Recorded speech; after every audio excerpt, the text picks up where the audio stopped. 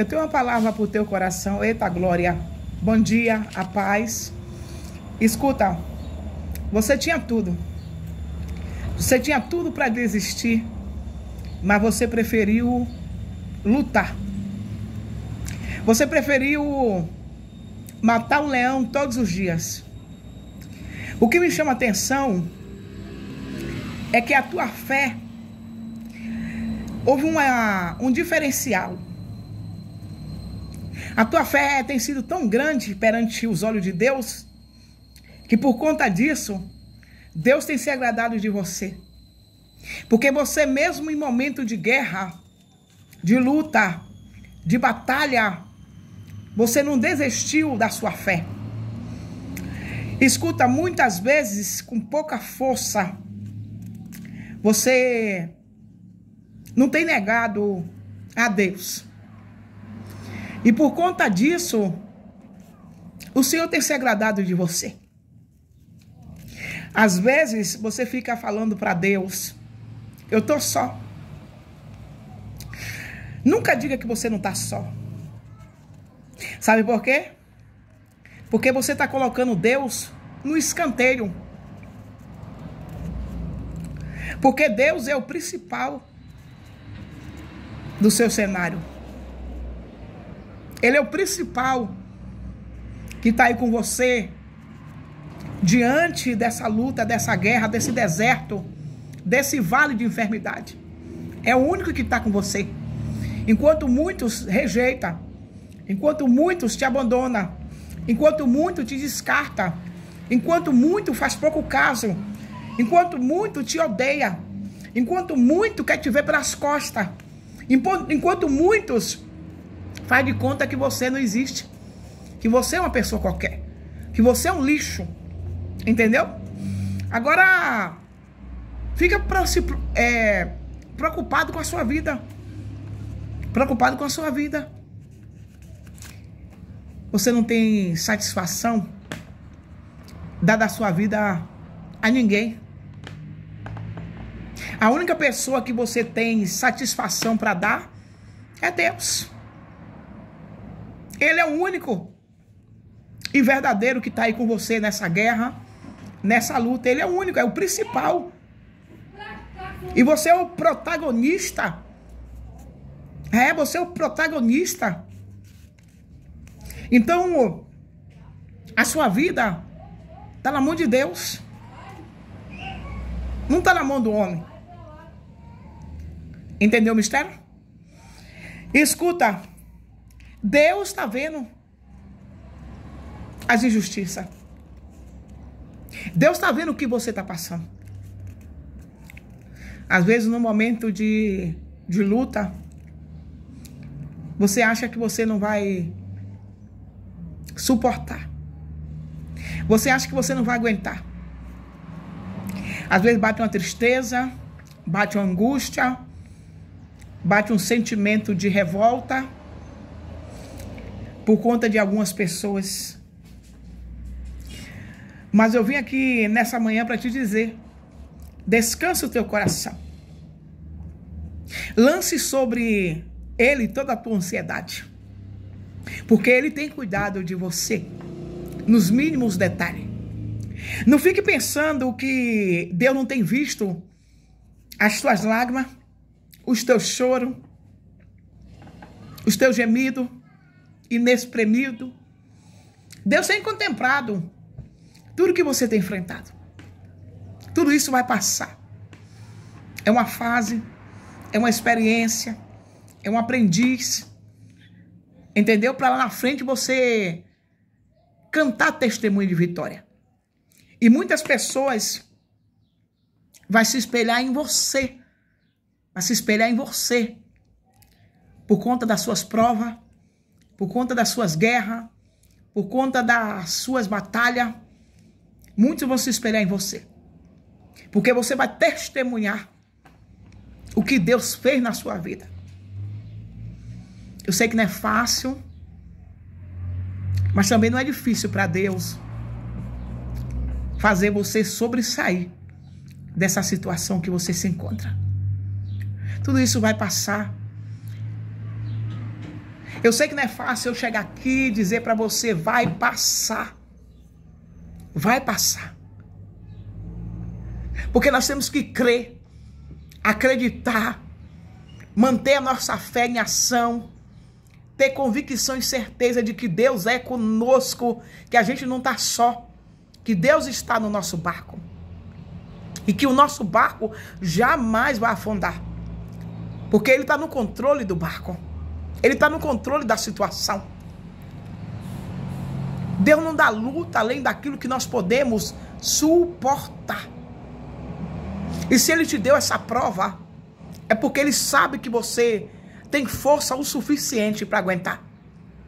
E quando Deus vê que você está arrastando, quando Deus vê que as suas forças já está desfalecendo, já está acabando, Ele chega para te dar força o suficiente para você sujeitar, suportar. Eu vim aqui para te dizer: acalma o teu coração, fica em paz, fica tranquilo, porque quem te guarda não dorme. O Senhor tem te guardado, o Senhor tem te protegido, o Senhor tem te livrado dos homens maus dos homens perversos, dos homens ruins, dos homens sanguinários. Deus tem te livrado. E eu vim aqui para te dizer que você não vai morrer.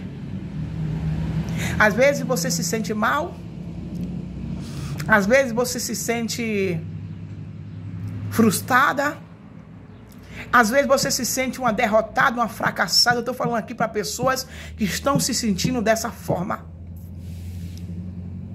E eu vim aqui para te dizer que Deus quer constância em mim e em você. Qual tipo de constância?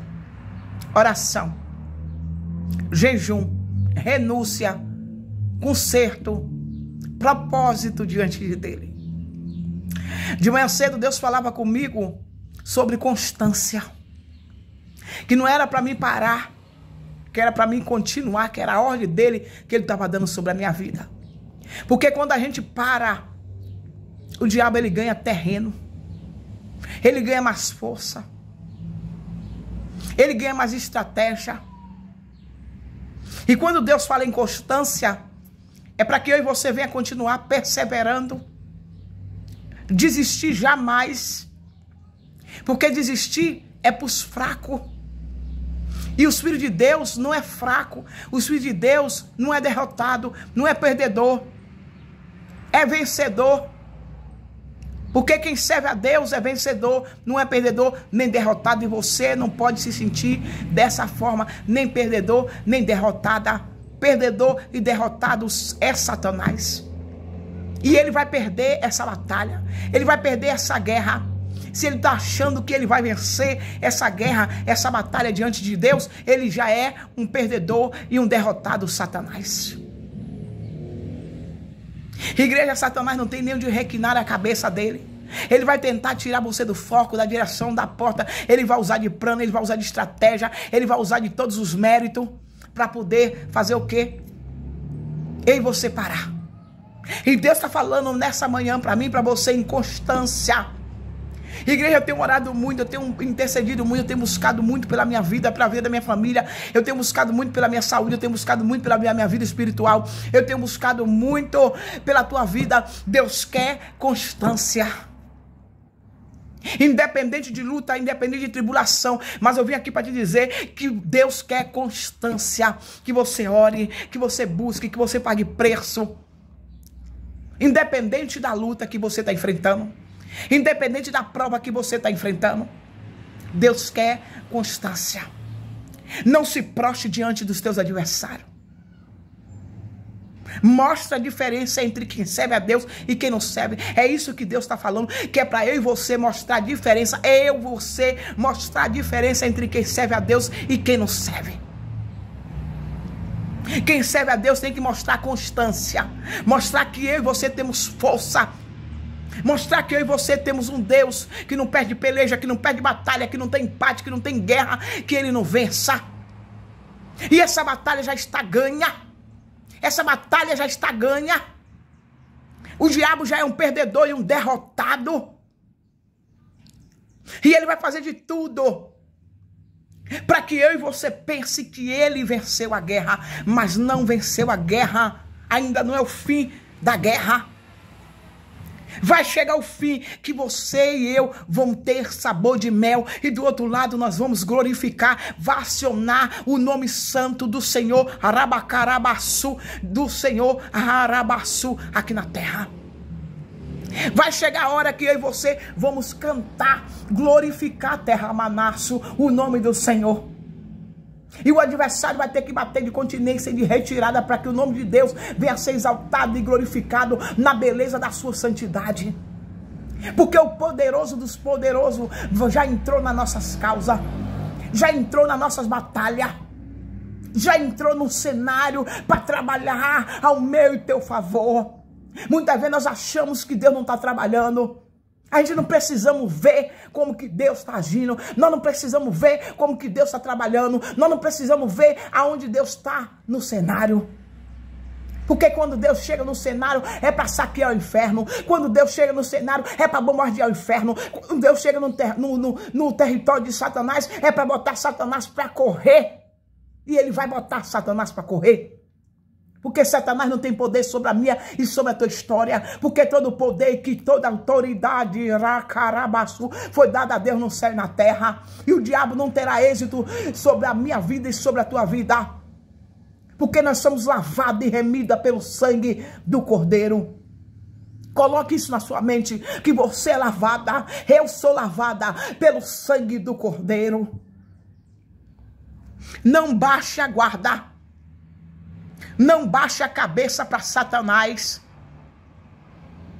Tem que ter constância. Coloque isso na sua cabeça. Tem que ter constância. Busque enquanto pode. Invocai enquanto o Senhor está perto. Ai, carabaço, eu estou sentindo a presença dele aqui. Eu estou sentindo a presença de papai aqui. Eu estou sentindo a presença de papai aqui, igreja. Deus quer constância.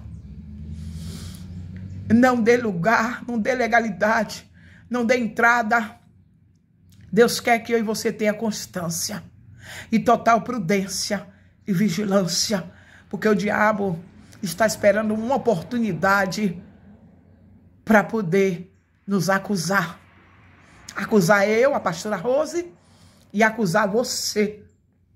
E Deus está dizendo: Eu quero constância.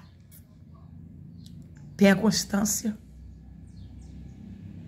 Não aceite que o diabo venha bagunçar a tua casa, a tua família, a tua mente, o teu subconsciente.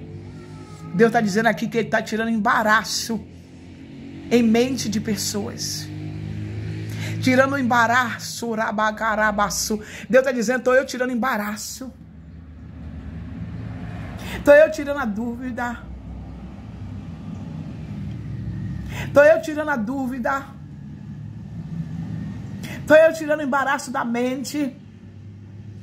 A incerteza. E estou colocando convicção. Convicção. Eu estou colocando convicção e certeza. E Deus me trouxe aqui para te dizer: descansa e mantenha a sua fé em ação, que depois você vai ver o resultado da sua constância. Curta, comenta e compartilha e vamos para mais vídeo.